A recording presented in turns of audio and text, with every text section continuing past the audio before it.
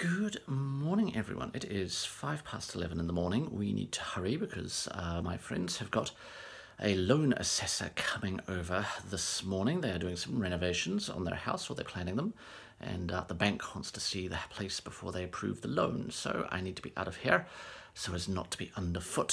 Hurricane update, uh, something that I didn't think I would have to be doing on this trip at this stage, but there we go. Uh, it has slowed down a lot. Um, it's only moving at five miles an hour now which means it's going to dump a ton of rain, uh, more or less where we want to stay. So that's today, that's happening, and this evening. Tomorrow starts the damage assessment, so uh, we'll get an idea about how bad it is and whether or not we can still go over the next 48 hours.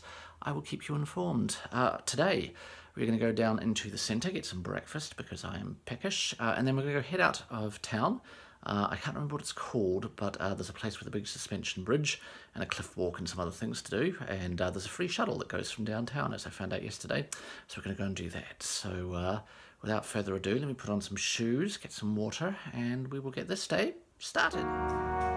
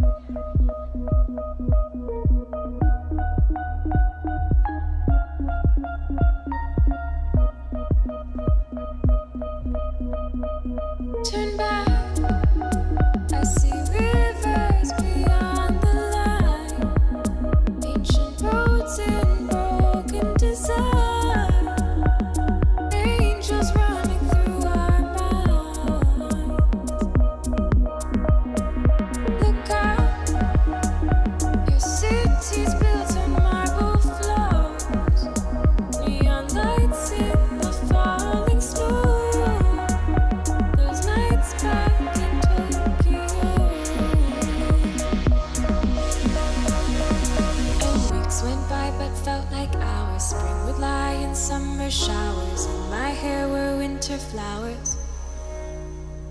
And weeks went by but felt like hours. Seasons multiplying power that I found in winter flowers.